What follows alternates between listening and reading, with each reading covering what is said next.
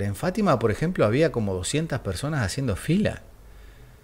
Hay un video que eh, lo tengo acá eh, para mostrarles a ustedes, este, donde se ve la cantidad de gente que eh, quiere hacerse el, hisopado.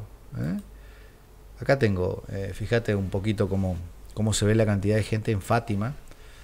haciendo fila, hay, no sé, gente de tránsito que está ordenando el acceso de las personas.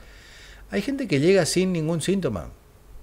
O sea, eh, si vos estuviste en una fiesta y vos estuviste eh, en contacto con mucha gente que después te contaron que apareció un positivo, guardate y no tenés síntomas. Guardate y, no vayas a, afectar el sistema de salud eh, por un capricho o porque te lo dijeron, si no tenés síntomas. Si tenés síntomas, te van a hacer pasar por el pasillito del costado. Así de sencillo, no, es te, no te van a tener ahí eh, parado, eh, porque además sos de riesgo para, el resto de la población. Fíjate la cantidad de gente, ¿no? Esto es eh, la, zona de, de, Fátima, ¿no?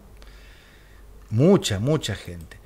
Después te voy a mostrar otra foto, una foto que es el acceso a eh, la zona. Tenemos una cámara ya, ¿no? Hoy está bastante tranquilo a esta hora.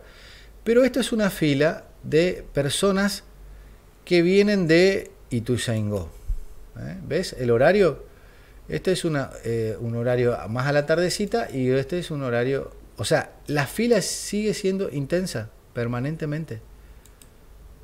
¿Ves? La cantidad de gente. ¿Qué hace la gente de salud pública trabajando allí? Un hisopado aleatorio. Aleatorio significa, en un auto o en una camioneta se hace el hisopado a una persona. ¿Está? Al estilo el gitano que me acuerdo que quería negociar el hisopado cuando vino de Buenos Aires. Iban cuatro y dijo, ¿y por qué no negociamos uno? Y si se supone que uno está afectado, bueno, el resto estamos todos afectados, decía el cálculo de él, ¿no? Para ahorrar la plata, porque en su momento se pagaba. Eh, Fíjate la cantidad de gente que se fue de, descanso, merecido por supuesto, eh, que sigue regresando en estos días, en estas horas, se tomó sus vacaciones y se fue a Ituzaingó. Ituzaingó no está fácil la cosa en términos de, de contagios. Y me contaba Carlitos ayer que varios dieron positivo en esa fila. Varios.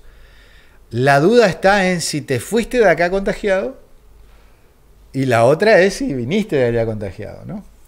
Ponele que te fuiste contagiado y te fuiste con un grupo familiar y te fuiste a la fiesta esa del Rincón Santa María, que, que hubo 63 personas.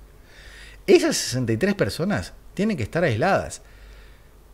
Si bien pueden ser jóvenes, pueden ser fuertes, todo lo que eh, te dice eh, siempre, ¿no? Eh, la gente, ay, si esto no nos va a pasar. Bueno, pero vos tenés un abuelo, tenés una tía, tenés alguien que está con, problemas.